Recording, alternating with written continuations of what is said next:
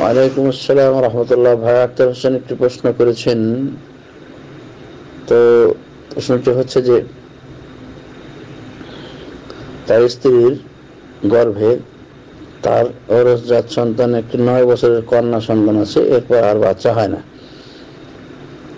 তো তার এক চাচি পরামর্শ দিয়েছেন এক মসজিদের ইমাম সাহেবের কাছে নিয়ে গেছেন, কোন জিন ভূতের বদ নজর আছে কিনা? তো জিন ভূতের বদ নজর আছে কিনা সেজন্য ইমাম সাহেবের কাছে নিয়ে গেছেন। ইমাম সাহেব ওনাকে এক বোতল পানি, লবণ এবং মাধুলি আনতে বলছেন। তো জরুরি হয়ে তিনি এটার উত্তর জানতে চেয়েছেন যে এগুলি কর্মের ভিতরে কোনো শিরকি বা কুফুরি আছে কিনা। তারপরে প্রশ্নটা জরুরি হলো, তো আপনি ইমার্জেন্সি এডমিনদের মাধ্যমে অর্থ উত্তরটা নিলেন না কেন? আমি তো একটা গ্রুপে খালি থাকি না অসংখ্য গ্রুপ আছে, ও অনেক দাওয়াতের কাজকর্মে আমি ব্যস্ত থাকি, সেজন্য সময়মতো উত্তর দিতে পারি না। জানি না কি কাজ করেছেন, এটা একেবারে শিরকি এবং মুশরিকি কাজ এবং আল্লাহর ক্রোধের কাজ এবং কুফরি কাজ। ওনার উচিত নয় কোন অবস্থাতেই ইমাম সাহেবের পরামর্শ শুনি না আল্লাহ সন্তান দেয় না, এমনি দেয় না, আল্লাহ তিনি জানেন, যখন তার ইচ্ছা হয় তখন তিনি দেন। জিনভূতের বাবার ক্ষমতা নাই এনজাবকে আটকিয়ে রাখার। আল্লাহর কুদরতের উপরে কুদরত কখনো কোনো জিনভূতের নাই। আমার নিজেরই বাচ্চা, বড় বাচ্চাটার ছোট বাচ্চা থেকে ডিফারেন্স বারো বছর। আমার প্রথম মেয়েটা জন্মের বারো বছর পর আমার দ্বিতীয় মেয়ে জন্ম নিয়েছে। আমি তো কোনো তাবিজ তোমার আদলি মাদুলি ফাদুলি এগুলি করিনি। আমার তোর ইমান মানে মনে করেন যে কচু পাতার পানি হয়ে জানি যে আমি একটা হুজুরের কাছে ইমান বেঁচে দেব।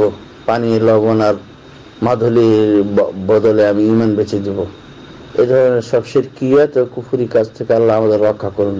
রসুল্লাহ সাল্লাম বলেছেন, মান তা আল্লাহ কাশাই আন উকিলে এলে যে ব্যক্তি কোনো কিছু লটকায় মাধুলি জাতীয় বা কোনো কিছু আল্লাহ তাকে তার উপরে ছেড়ে দেয়। আল্লাহর তাওয়াক্কুলের উপরে আর সে থাকতে পারে না। আল্লাহ তার উপরে নারাজ হয়, তার ইমান হারা হয় সে। আল্লাহ সে উকিলে এলে হ্যাঁ সত্তর হাজার মানুষকে আল্লাহ বিনা হিসেবে জানার দিবেন, যারা ঝাড়ফুঁক করা যায় সত্ত্বেও করেনি। আর তাবিজ তোমার তো এগুলো হারাম হারাম একেবারে। আলাল এতলাক আজকে কিছু আলেম অপব্যাখ্যায় নিবেদিত। কোরআন সুন্নার। যারা বলে যে কোরআন দিয়ে হাদিস দিয়ে তাবিজ দিলে দেওয়া যাবে। কিন্তু রসুল্লাহ সাল্লাহ সাল্লাম ও কথা বলেননি। রসুল্লাহ বলছেন, তাবিজ লটকানোই হারাম। আর কোরআন দিয়ে হাদিস দিয়ে ঝাড়ফুঁক করা যাবে, যদি সেটা কুফুরি বাক্য না হয়।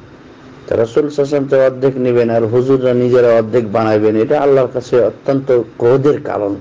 এটাই আহুদিদের স্বভাব। রসুল্লাহ সাল্লাম বললেন যে, ইন্নার রোকা অত্তমায় আত্মাওয়ালাতা শিরকুন নিশ্চয় ঝাড়ফুঁক এবং তাবিজ এবং তেওয়ালা স্বামী স্ত্রীর মিলন বন্ধনের জন্য তদবির শিরিক।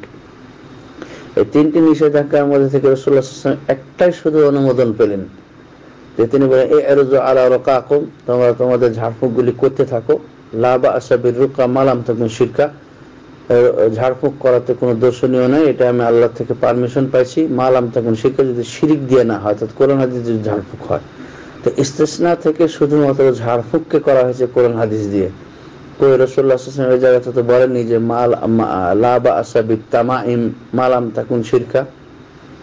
তাবিজ আটকানোতে কোনো দোষ নাই যদি সেটা কোরআন দিয়ে হয়। তাহলে এখানে অবব্যাখ্যা টিকলো? টিকলো অবব্যাখ্যা সমস্ত আলেমদের?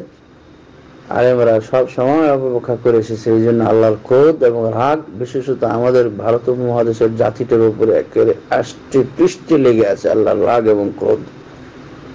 বেলাদুল তাহিদ বেলাদুল হারামেন সৌদি আরবে, কোনো মানুষের গায়ে তাবিজ লটকানো দেখতে পারে না এখানে। সাধারণ মানুষও এটাকে শিরিক জানে।